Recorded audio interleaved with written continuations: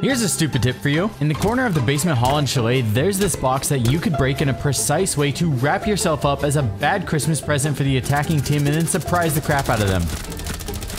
I got some of the best reactions that I've ever had from this spot, and here's what it looks like from the attacker's point of view. Unfortunately, this spot was such a stupid spot that it was actually insanely strong, and so Ubisoft patched it so that people would stop crying about the Brofam killing them from a cardboard box. You know, that's why we have drones, so it's actually a skill issue, but whatever.